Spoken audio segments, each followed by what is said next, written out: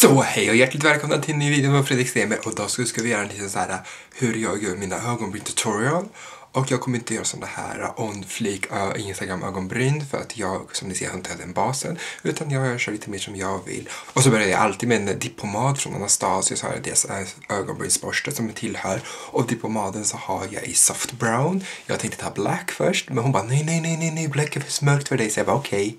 så jag litar på henne så att nu kör vi igång och jag ska visa hur jag gör mina ögonbryn och förhoppningsvis så kommer du få lite tips och inspiration och bara lära dig någonting eller bara njuta av min fina tillvaro och min röst. Så att nu kör vi igång! Som sagt, jag börjar med en dippomad som är från Anastasia i färgen soft brown och så har jag deras ö, borste som är just deras.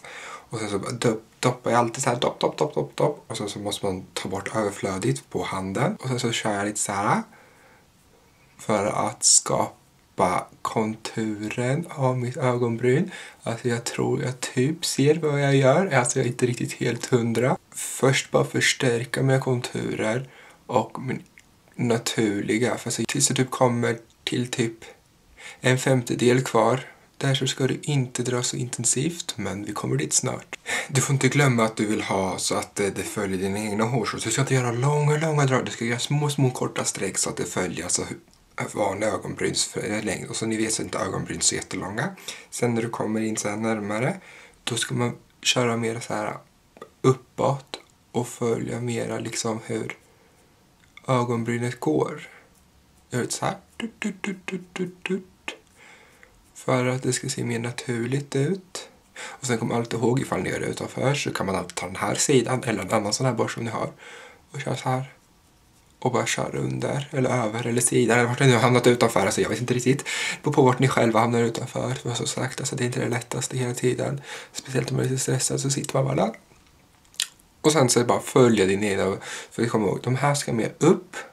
De här ska med åt sidan, alltså sidan snett och, och den här sidan ska med ner vad jag tycker är snyggt. Men sen så här får ni tycka vad ni vill. Alltså jag har inte noppat mina ögonbryn på ett tag men jag vet i alla fall vilka linjer jag ska följa. Så ser ni redan att det är lite skillnad mellan den och den.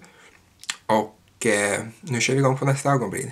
Nu har vi gjort nästan hela ögonbrynen. Men som sagt, alltså det ser väldigt hårt och brutalt ut. Och sen kom ihåg, ögonbryn behöver inte vara systrar, tvillingar, syskon, tvillingar eller någonting. De behöver inte ens vara släkt, men inte känna varandra. Den ena kan vara från Afrika, den andra kan vara från Sydkorea. Det är helt okej. Okay. Sen har du fått lite glow här så att de får lite extra attention fast de inte behöver det just nu.